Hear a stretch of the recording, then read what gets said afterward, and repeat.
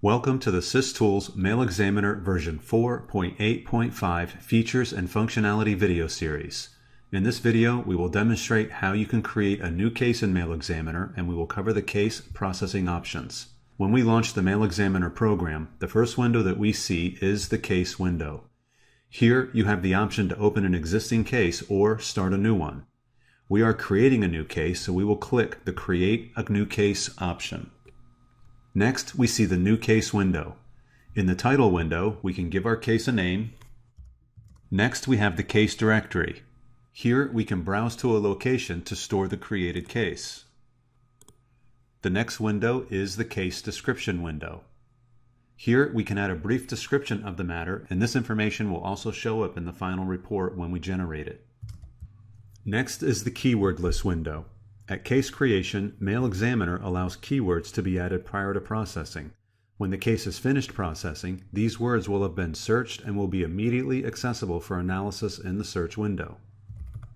Next, we have the option to add a keyword list.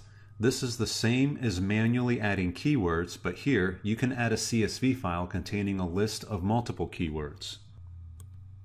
Next, we see the More button at the bottom of the New Case window. In this section, we can add the investigator information. When we are finished creating the case, we can click Add and we will see a message that says the case was added successfully. When we click OK, the next window that we see is the Settings window. Here is where we can determine what actions will be performed on the evidence during processing. First on the Processing Options tab, we see Link Analysis and Reporting. Checking the link analysis and reporting box will allow you to perform user and domain link analysis. MailXaminer will generate link graphs and store them in the case directory. This graph data structure is used in the analytics section to get information such as the number of mail sent and received as well as Skype activity. If you uncheck this option, you will not be able to perform link analysis or generate a timeline. Next is the Read Calendar while processing option. If you are interested in seeing, searching, and working with calendar entries, check this box.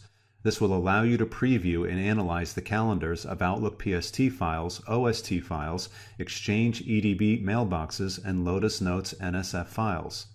You can examine the meetings and appointments of the target users and report on them as needed. Leaving it unchecked will completely omit calendars from your case. Next, we see the Only Document option. This relates to processing image files, such as an E01 or a raw image. If you check this option and you are adding an image container, MailXaminer will process the container without expanding and processing file types such as PSTs, Skype databases, or any compressed file.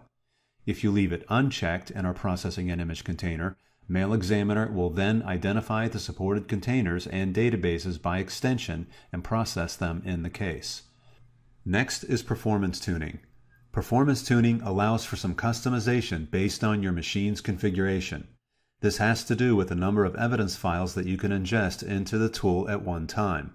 As an example, on a machine with 4 gigabytes of RAM running an i3 processor, it is recommended that you set the concurrency level to 2.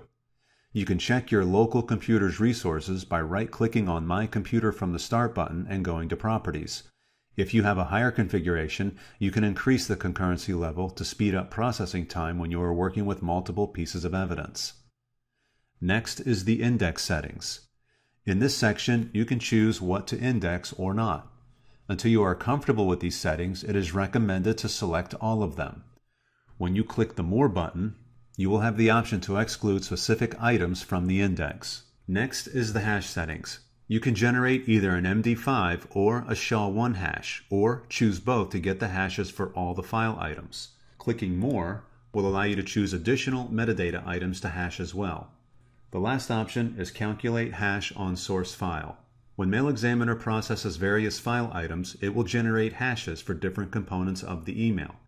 By checking this option, MailXaminer will generate a hash of the file that combines all of the components so the individual message can be identified by one hash. Once we have completed the customization of the settings, you can click the Never Show This window again, and when you click Save, your case settings will be saved case to case.